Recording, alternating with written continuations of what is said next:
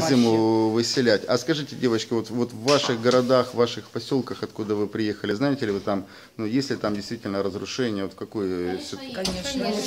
Можете? Ну, Вот у нас, например, я хотела ребенка в школу. Там у нас два снаряда попало в школу. Специализированная школа, это недавно вот Киев прям финансировал. Для детей у меня ребенок почти не видит, на один глаз. И вот специальная школа ее полностью разрушили. Это в Теплогорске городе попало два снаряда.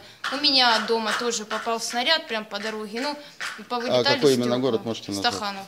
А, со Стаханова. Да. Кстати, много со Стаханова в Чугуеве там В есть. Чугуеве, да, нас сначала в Чугуев, потом сюда. А, так как у меня маленький ребенок, мне сюда.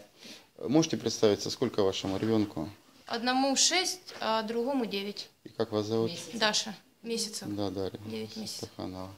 А Кто еще знает, что если действительно были разрушения в ваших У городах? нас школы вообще все уничтожены, садики.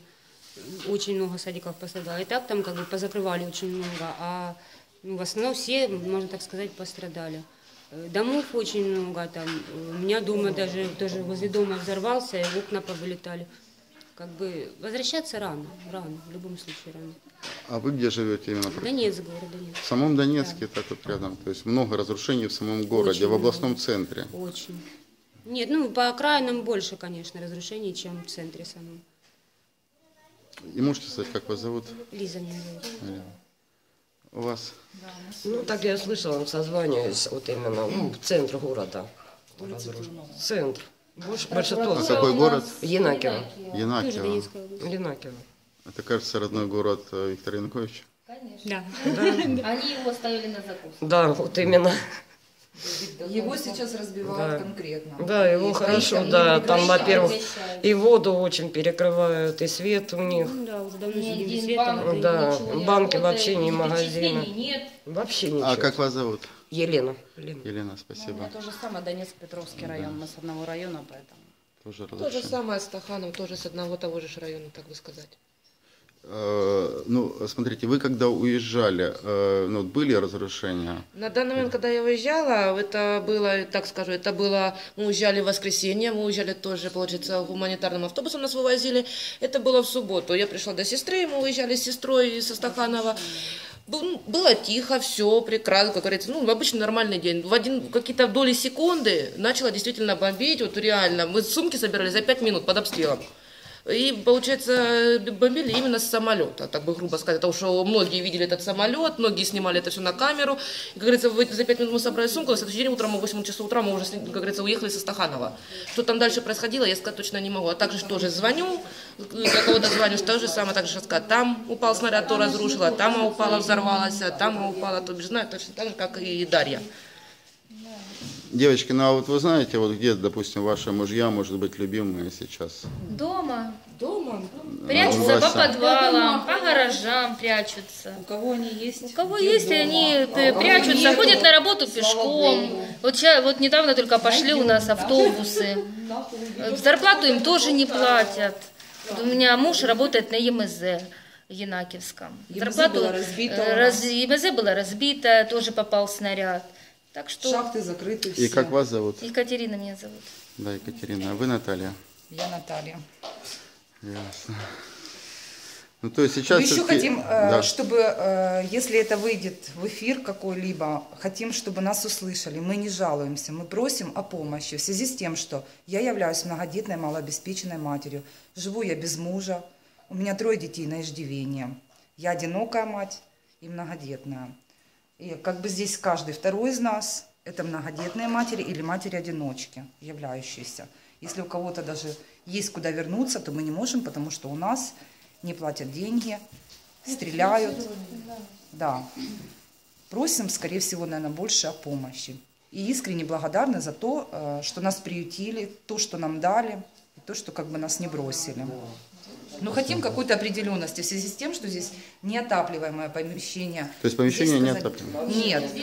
Здесь, да, на зимний период здесь нет возможности остаться, так как Поэтому нам и сказали, чтобы мы как-то искали себе Да, как-то варианты. или себе искали, или просили о помощи. очень возмутимо э, был звонок от Натальи Владимировны от СЗН Богодуховского района.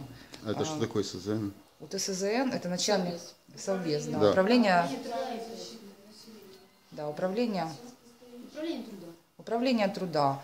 Она сказала, что мы звонили с претензиями, с жалобами, хотя этого не было. Нас было большое количество. Когда нам в четверг это объявили, да, этот разговор все слышали. Мы можем повторить. Мы звонили действительно в департамент.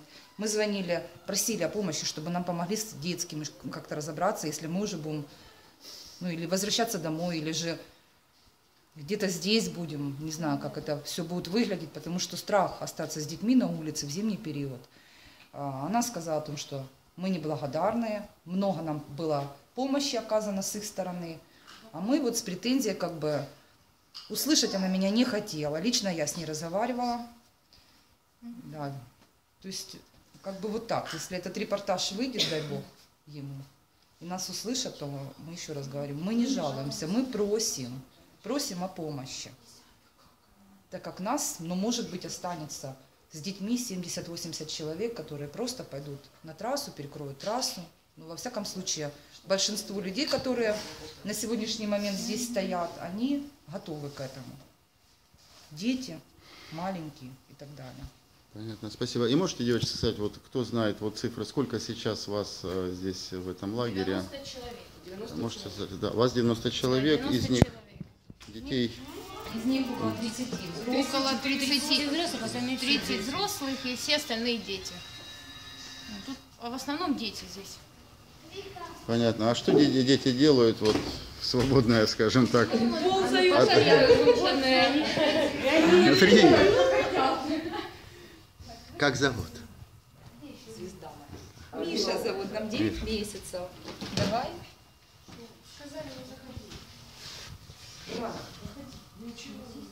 Слава Богу, дети обеспечены игрушками, вниманием не обделены. Мишка.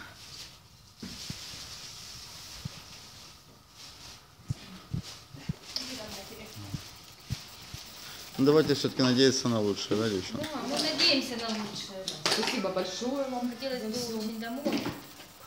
Надеемся на благоразумие наших властей и тех, и тех, чтобы наконец услышали хотя бы народ. Не просто себя делили Да, территорию, детей, а народ и детей услышали. Потому что это уже все надоело. Я хочу, чтобы мой ребенок пошел в мою школу, где я училась. Хочу, чтобы мой ребенок спал спокойно на своей кровати и у себя дома, а не скитались мы по всяким лагерям и тому подобное. Да, кому Не очень нам хочется на, гос... да, Да, мы- гособеспечении сидеть. Если Мы здоровые люди, мы можем Да, сами мы себе можем сами заработать. Вот я, например, работаю, я написала бесплатный отпуск. И у меня он скоро заканчивается, а мне надо ехать на работу. Меня нет ни социальных каких-то выплат, я не мать-одиночка, я не многодетная мать. Но я спасала своего ребенка, я его вывезла. Муж остался там, а я сюда приехала, а скоро мне на работу. И что мне делать, я не знаю. Так что тут как бы хотелось бы, чтобы услышали нас власти. Там Ну, ну, сидящие ну вы хорошо, наверху. и те, и другие. И те, и другие, да. И те, и другие. Хоть кто-нибудь, просто не знаю, те- хоть кто-нибудь. Чтобы пришли к какому-нибудь соглашению, в конце концов. хоть чем. То есть, да, вопрос стоял о нет. Перемирия, вы считаете, нету? Нет, потому что Нет. у нас до сих пор бомбят, у нас стреляют. Это в Динамиево у нас до сих пор стреляют и бомбят. Так что, да, мы не знаем, кто именно, та сторона стреляет или эта сторона стреляет. Мы не знаем, кто это. Но они стреляют и бомбят. Так что, как бы, детей у нас.